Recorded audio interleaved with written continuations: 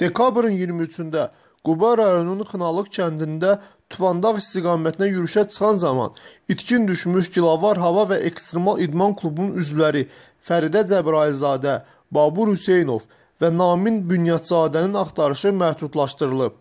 Fövqəladə Hallar Nazirliyinin məlumatına görə axtarış xilas etmə işlərinin məhdudlaşdırılmasına səbəb əməliyyat aparılan ərazidə hava şəraitinin kəskin pisləşməsidir. Fövqəladə Hallar Nazirliyinin Şimal Regional Mərkəzinin rəisi, Axtarış Xilas etmə qərargahının rəhbəri polkovnik Şahin Mirzəyev gənclərin uçqun altında qala biləcəklərinə işarə edib. O qeyd edib: "Hələ ki heç nə deyə bilmərəm. Allahın möcüzəsi olur. Onlar uçquna düşüb. İlkin ehtimala görə 10-15 metr qarın altında qalıblar."